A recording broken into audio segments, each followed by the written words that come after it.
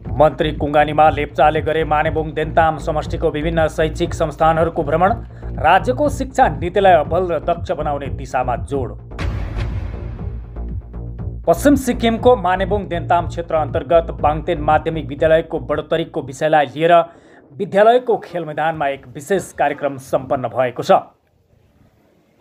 यसै माध्यमिक विद्यालयलाई बढोत्तरी गरी वरिष्ठ माध्यमिक विद्यालय बनाइनुपर्ने स्थानीय जनताको मागलाई लिएर स्कुल प्रबन्धन समितिले आजको कार्यक्रमको आयोजना गरेको थियो जसमा राज्य सरकारका शिक्षा भू राजस्व एवं आपदा प्रबन्धन कानुन तथा खेलकुद एवं युवा मामिला विभागका मन्त्री कुङ्गानिमा लेप्चा मुख्य अतिथिको रूपमा उपस्थिति रहनु भएको थियो। साथमा लोकसभा सांसद इन्द्रहाङ सुब्बाको पनि विशेष उपस्थिति रहेको थियो। यसअघि आजको कार्यक्रममा मन्त्री लेप्चाले पूर्व सरकार कालमा दुई हजार सोह्रबाट बन्द रहेको हि क्याङबारी सरकारी पाठशालालाई पुनः उद्घाटन गरी जनतालाई समर्पित गर्नुभएको छ। पछि मन्त्री लेप्चाले देन्ताममा निर्माणाधीन महकुमा कार्यालय अनि भोकेसनल कलेजको आधिकारिक भ्रमण गरेर यहाँको आवश्यकताबारे जानकारी लिनुभएको थियो। भ्रमणपछि बाङतेन स्कुल प्रबन्धन समितिले आयोजना गरेको कार्यक्रमलाई सम्बोधन गर्ने क्रममा सांसद इन्द्रहाङ सुब्बाले शिक्षा मन्त्रीको उपस्थितिले हाम्रो निम्ति सौभाग्य र सुनौलो अवसर रहेको बताउनु भएको छ।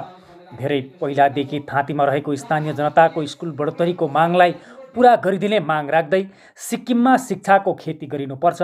शिक्षा आर्जन गर्ने मन्दिरलाई निर्माण गर्न सरकार तयार रहेको पनि बताउनु भयो। अभिभावक विद्यार्थी लगायत शिक्षकहरू मिलेर राज्यको शिक्षा नीतिलाई अब्बल र दक्ष बनाउनु पर्ने कुरामा पनि जोड दिनुभएको थियो। सांसद सुब्बाले टिचर लर्निङको प्रतियोगिता गरिनुपर्छ भन्ने सुझाव पनि राख्नुभयो।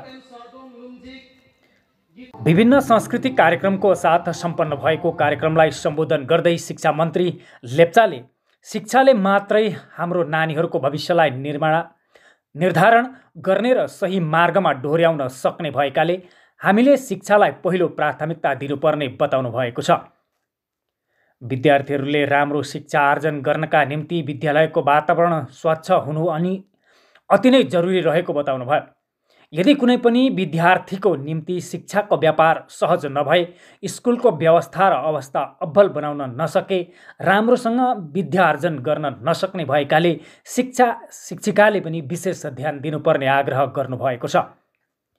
सरकारले शिक्षालाई पहिलो प्राथमिकता दिएर कार्य गरेको जनाउँदै पूर्व सरकारको पालामा बन्द रहेको थुप्रै पाठशालाहरू पुनः सञ्चालनमा आएको र नयाँ स्कुल भवनहरू र विश्वविद्यालयहरू निर्माण भइरहेको पनि जानकारी दिनुभएको छ। मन्त्री लेप्चाले बाङतेन माध्यमिक विद्यालयले राखेको बढोत्तरीको मागलाई आगामी विधानसभा अधिवेशनमा राखेर पुरा गरिदिने वचन दिनुभएको छ। कार्यक्रममा बङतेन क्याङबारी अनि लुङजिक पाठशाला परिवारको तर्फबाट मन्त्री कुङ्गानीमा लेप्चालाई अभिनन्दन पनि जनाइएको थियो।